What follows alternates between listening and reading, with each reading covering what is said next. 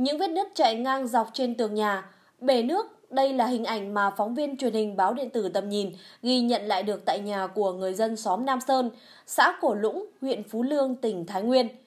Đã nhiều năm nay, người dân xóm Nam Sơn phải sống chung với nỗi lo sợ khi hàng đêm lại giật mình tỉnh giấc giữa đêm bởi những tiếng mìn nổ do khai thác than tại mỏ đá Bá Sơn của công ty cổ phần xây dựng và khai thác than Thái Nguyên làm rung chuyển nhà ở.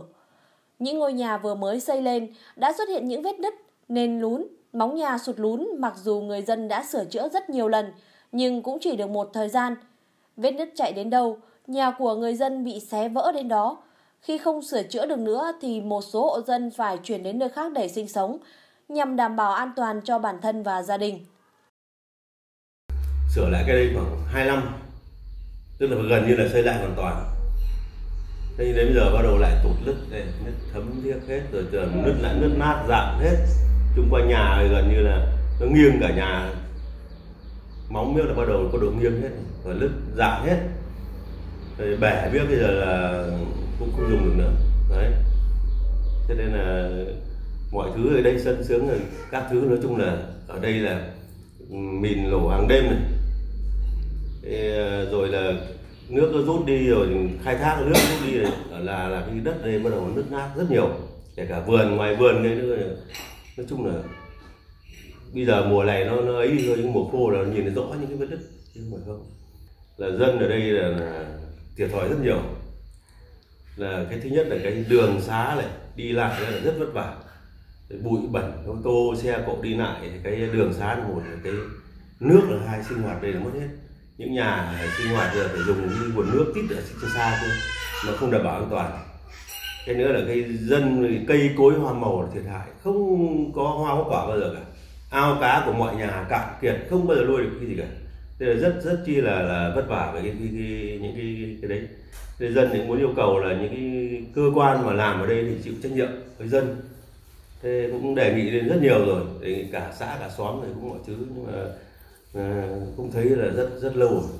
Chưa thấy cũng mỏ cũng đã thấy có một vài chỗ giải quyết được vấn đề nhưng mà khu như khu nhà chú là chưa thấy có chưa thấy gì cả. Chỉ thấy lên và, và kiểm tra đi kiểm tra lại nhưng mà chưa thấy lại được vấn đề. Không chỉ nứt nhà mà từ lâu việc khai thác than của mỏ than Bá Sơn làm cho nguồn nước ngầm tại khu vực này bị tụt, ao cá cạn trơ đáy, gây khó khăn cho việc sản xuất, chăn nuôi, ảnh hưởng trực tiếp đến đời sống của người dân xóm Nam Sơn. Để làm rõ trách nhiệm của công ty cổ phần xây dựng và khai thác than Thái Nguyên đối với tình trạng sụt lún nhà dân, phóng viên truyền hình báo điện tử Tầm Nhìn đã liên hệ làm việc với lãnh đạo công ty. Phía đại diện công ty cho rằng hiện tượng sụt lún là do khai thác than thổ phỉ từ nhiều năm trước, các công trình xây dựng của người dân từ lâu và các công trình xây dựng đã quá niên hạn sử dụng. Tuy nhiên, theo người dân, hiện tượng lún, nứt, mất nước chỉ xuất hiện trong khoảng 2 năm trở lại đây. Cô từ khi mà cô làm đơn xuống mỏ là làm cuối năm 2018 thì làm đơn xong thì mỏ có lên kiểm tra một lần rồi, thế vừa rồi lại có đơn xóm lại có đơn đợt hai thì mỏ lại lên kiểm tra một lần nữa. Những vết nứt ở trong nhà ngang, nhà tắm ờ, ở trong nhà này thì có kiểm tra, có ghi rồi.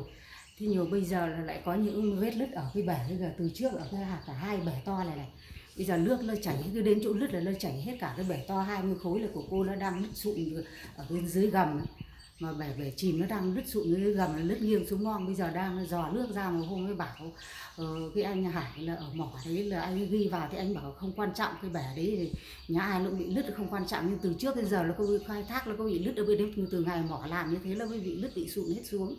Chứ còn từ hôm bây giờ là những vết nứt là nó làm càng ngày càng xé to. Cái buổi trưa cái buổi đêm là mìn lổ những vết nứt ở nhà tắm bây giờ lại xuất hiện thêm bao nhiêu vết nứt nữa. Và những cái móng bây giờ nó xé to rồi những vết nứt ở cửa nhà tắm cái gầm nhà tắm bây giờ nó đang lứt sụn theo cái cái gầm nhà tắm xuống. Từ hôm mình lứt rất nhiều nhiều rất nhiều vết nứt. Cả ở sân ở trước này nữa này cô cảm thấy rất bức xúc tại vì nhà cô bây giờ chỉ có một mình thôi và bao nhiêu năm bây giờ nước lôi ở đây không có.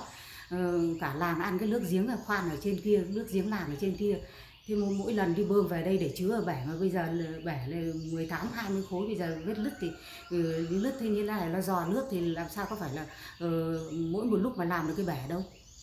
Bây giờ cô mong muốn là làm thế nào mà mỏ làm thế nào mà uh, xem là kết hợp với cô để giải quyết những cái hậu quả như thế này để cho thỏa đáng với dân.